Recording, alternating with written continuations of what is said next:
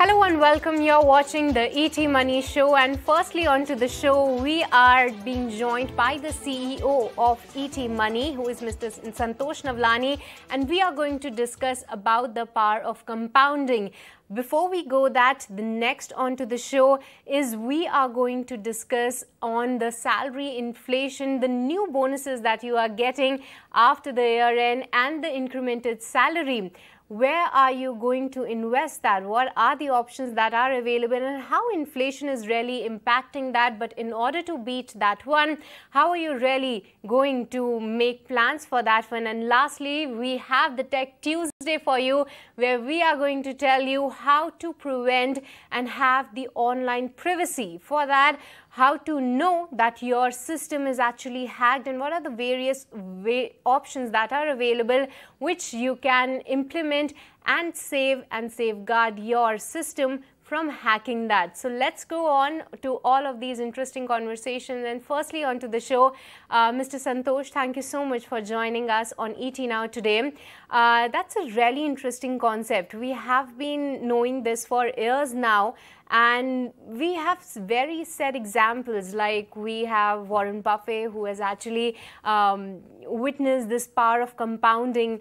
But firstly, would like to know that which one is the right and the optimal age bracket to start investing and see the wonders of compounding. Which instruments to start with and what should be the mix initially? Uh, hi everyone. So uh, see it's, it's, it's uh, there is always a uh, never a wrong time to invest uh, in that sense. You know you always should be trying to invest as soon as you can. Uh, uh, naturally you need to start earning first and start saving enough money before you can actually invest uh, so it's all about when you start investing, uh, when you start earning your salaries in that sense. Typically, this in India would be about 22, 24 in today's times. Uh, so I would actually say that uh, one should start investing the moment you earn your first paycheck.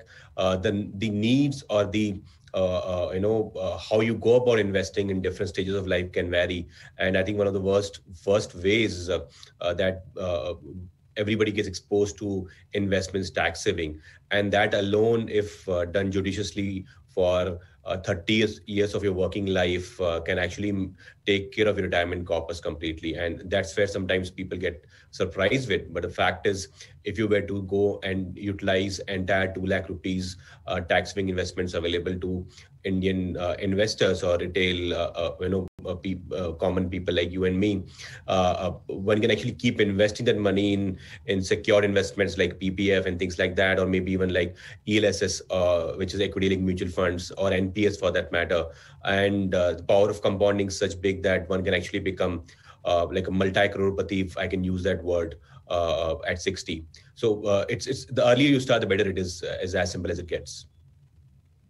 Yes, absolutely. But like we say that uh, the power of compounding is actually the eighth wonder of the world, and um, we have set examples where people who have started really early are able to build to this eighth wonder and experience that one. But if somebody is actually starting early, uh, what kind of a mix would you suggest? Because there is uh, different criterias of risk taking when you enter different age brackets. What should be the initial mix looking like? And going forward, uh, what kind of a return expectation should one be having so that he can uh, have that multiplier effect on the wealth?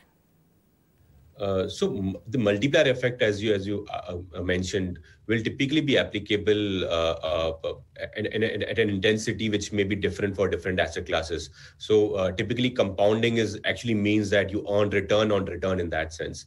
Yeah, we we all learn the simple concept of uh, simple interest, compound interest in our school textbooks, uh, but uh, we never really understand as as the word power of compounding or that being eighth wonder of the world until we actually look at how how it can actually impact our, our savings in life. So uh, you you you spoke about Warren Buffett, and uh, uh, it's a common knowledge. Many people have read about this. They actually get surprised that today his wealth approximately is about 120 billion dollars, and he actually earned 90% of that wealth after 65 years of age and uh, that's because in in next 30 35 years that he has earned that money 30 years that he has earned the money is actually earned share by the return on return that he's able to uh, generate on his uh, on his investments. So the the compounding comes into effect after a certain base has been established. The compounding comes into effect after a certain amount of years have been uh, passed into investments. Uh, uh, before we go to which asset classes uh, or mix i think it's important to understand how it actually plays out so if you were to do a simple sip of say 10000 rupees every month to into a simple index fund and that generates theoretically say 12% per uh, return per annum, uh, you would notice that at, at in year five, uh, your corpus will be about six lakh rupees that you've invested has grown to 8.24 lakh rupees. So about 25% of your money uh, uh, Uh, uh, is actually gains and is your principal. Uh, but the moment you look at 10th year, uh, what it becomes is your your corpus becomes about 23 lakh rupees and your investment amount is about 12 lakh rupees. So 50 50% is a component between gains and your principal investment. Come to 15th year, you would actually notice that if you continue to earn 12% return per annum, you would see that your 18 lakh principal investment has actually become 32 lakh rupees or so at the same rate of return, which actually means that you almost have uh, got same amount of gains and principal uh, and, and and your your gains are more than the uh, 2x of the principal in that sense. Uh, come to year number 20 you would notice that it's actually grown to almost 3x uh, of your investments. 24 lakh rupees growing to almost 75 lakh rupees. Uh, again, you go to year 25 and year 30, you would see it's almost 5x and 10x. In fact, from year number 29 to year 30, your your gains alone from 29th year to 30th year can be more than your entire principal of 30 years. So that's power of compounding. It's like your 10000 rupees every month for next 30 years can actually grow into uh, almost 3.6 crore worth of investments. It's very very sizable corpus for anybody in, in, in today's uh, uh, even an inflation environment that we live in. So uh, uh, the the as you can see the, uh, the compounding kicks in on, on two things. Because you earn return on return and you give time to your investments. So if you give this and and your your asset class is actually giving you good returns then uh, the compounding becomes far far bigger. So by, by naturally you know uh, uh, if you look at the asset classes equity will always tend to give you better returns. Uh, it almost mimics the uh, real gdp growth in, in, in an economy in terms of returns over long periods of time. So you can actually earn a much more higher corpus by investing in equities.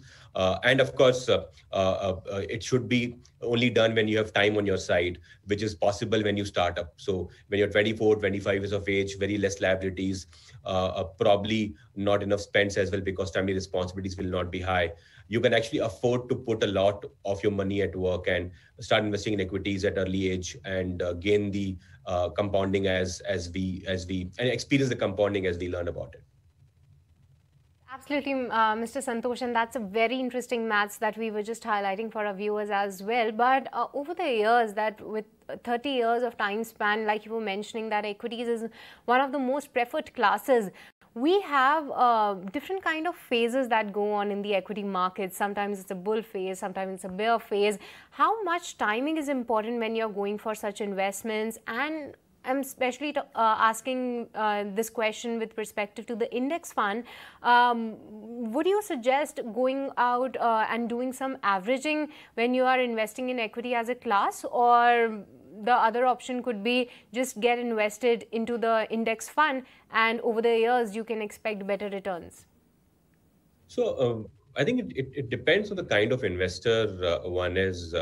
Uh, it also also depends on the uh, uh, kind of investor personality that you bring to the table, what kind of risk appetite you have to ups and downs uh, or drawdowns in the marketplace, as we're witnessing a kind of again a volatility in the marketplace for last few days and almost entire uh, 2022 calendar year has been like a very whipsawed marketplace. So it all depends what kind of person you are, what kind of uh, you know liabilities you have, what kind of aspirations you have. Uh, so uh, uh and so what hap- what matters more uh, to kind of you know get the benefit of compounding is the how much time you give and not timing. Timing can be uh, uh, you know uh, more attuned to or I don't know, uh, you cannot get timing right every time. Uh, is how how it happens in the marketplace. Uh, you can get uh, you can do bottom fishing once or twice uh, in life really well. you may be able to time the top really well once or twice again, but most of the times you will not be able to get catch the exact bottom and the exact top. So uh, uh, for retail investors, it becomes all the more difficult uh, to practice. So I would actually recommend that follow the which is we always we hear in marketplaces. you know, give time to investments, forget timing or it's not timing in the timing the markets it's time in the markets which creates wealth for you so use that uh, to your advantage and give timing to your, time to your investments uh, uh, on your question about index funds uh, in terms of being a suitable investment uh, uh, we are big proponents of index funds as ET money uh, and we we believe in them as a, one of the best ways to create wealth for oneself.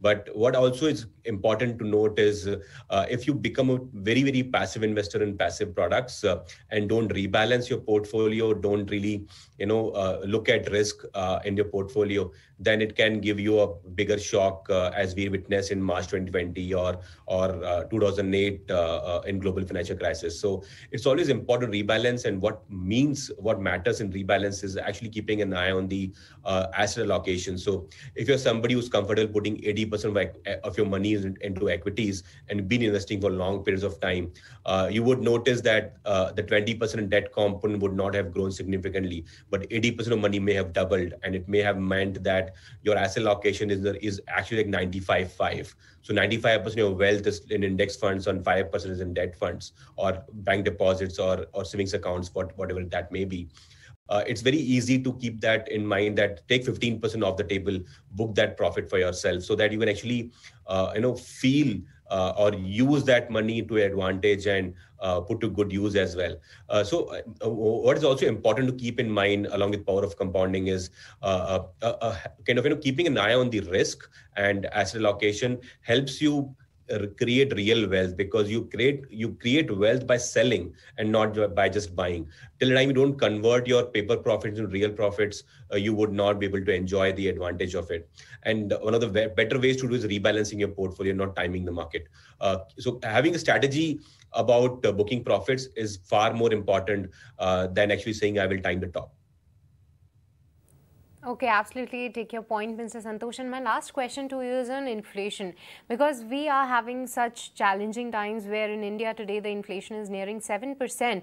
Would like to know your perspective on how does inflation affect the investment plans for one person? Because we are talking about power of compounding and it is uh, being experienced in a longer term horizon. But during that time, do you uh, feel that it is a cyclical phase? It will go, how should one adjust uh, to such challenging times when inflation is headed upwards?